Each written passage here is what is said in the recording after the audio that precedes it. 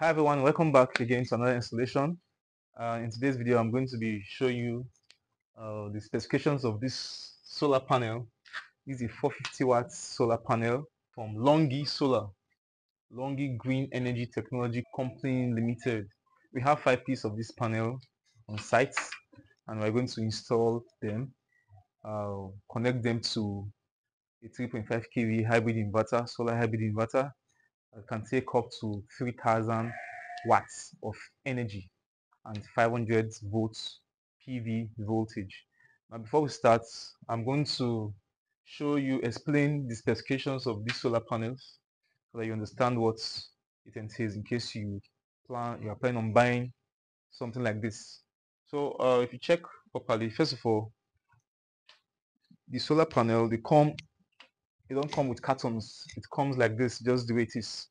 With these terminals folded and with a green tie wrap.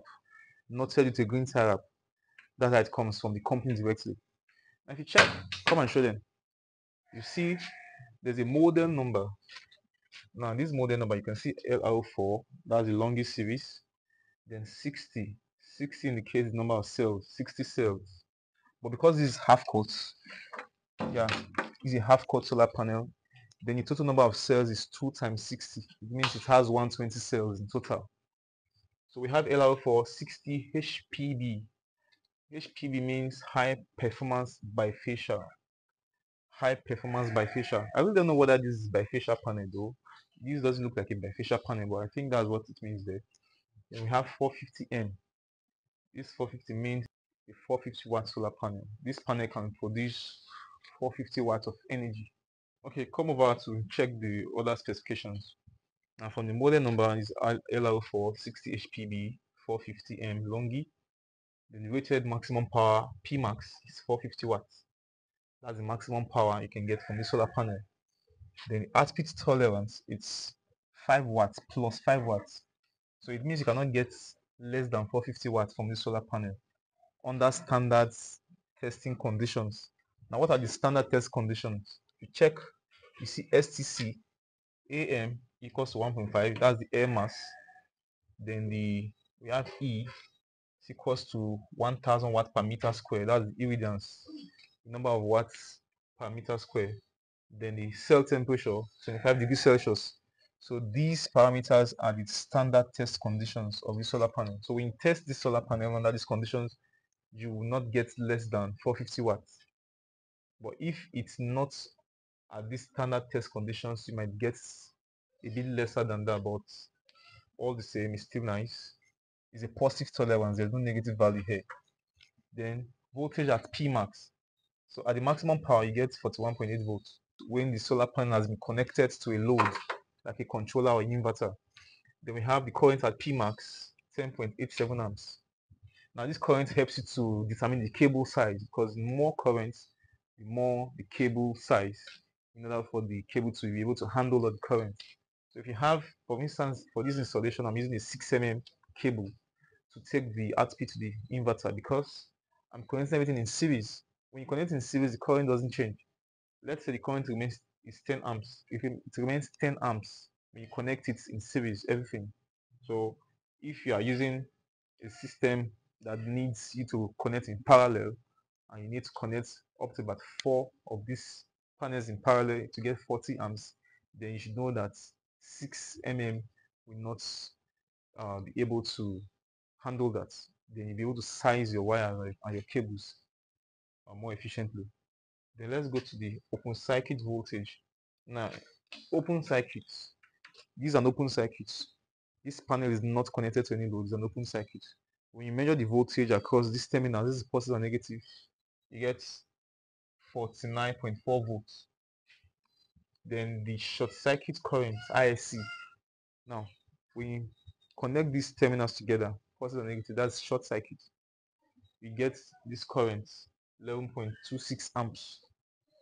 Now this short circuit current helps to determine the fuse rating in case you want to use a fuse to protect your solar panel let's go over to the tolerance VOC and ISC tolerance is plus or minus 3 percent so you multiply 0.03 by either the VOC or the ISC then you subtract and add, and you get the range of values or the range at which uh, the VOC on ISC can reduce or increase.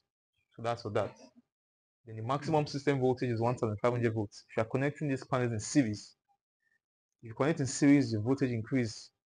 Assuming this panel gives you uh, 50 volts at VMP, you are connecting in series, you're supposed to connect just 30 panels. If you connect more than 30, it's not work. You damage the system. Because if you divide 1 5 by 50, you have 30. 30 solar panels. That's for that. Then the maximum series fuse rating is 20 amps. Operating temperature minus 40 degrees Celsius to plus 85 degrees Celsius. Minus 40 extremely cold conditions. 85 extremely high temperature. So it can work within this range of temperature. And the protection class is class 2. It means it has double insulation because it has double insulation there is no need for grounding now so this is standard test conditions we've talked about it before am 1.5 e 1000 watts per meter square. Then temperature of the cell 25 degrees celsius. Then come over. There are these symbols. What does these symbols mean? We have this one. This one means you should dispose properly or it can be recycled.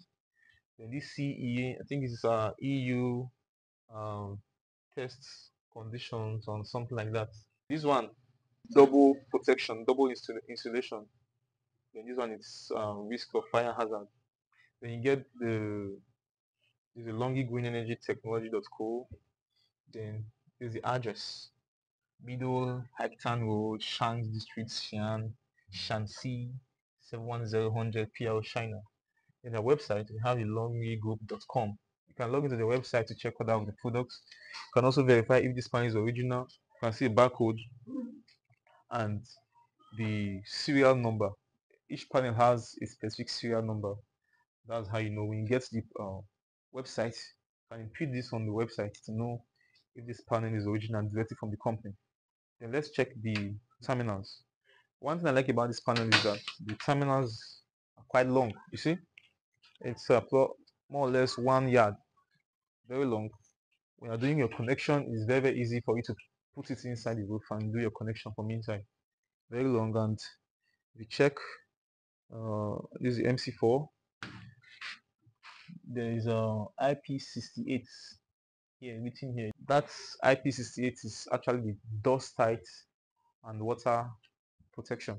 It has protection for dust and water understand? So when it's raining and when it's dusty, the terminals are highly insulated and highly protected. Connections remain stable. So that's what this IP68 means. So there are different uh, ratings for waterproof and dust type protection. Uh, there's IP65, but this one is IP68. It's a bit uh, higher. So that's for that. So I think uh, we are done with this. We've explained practically everything on this solar panel.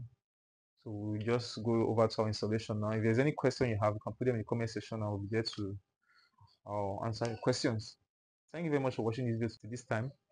Want to appreciate you for giving your time and just smash the like button and hit that subscribe button.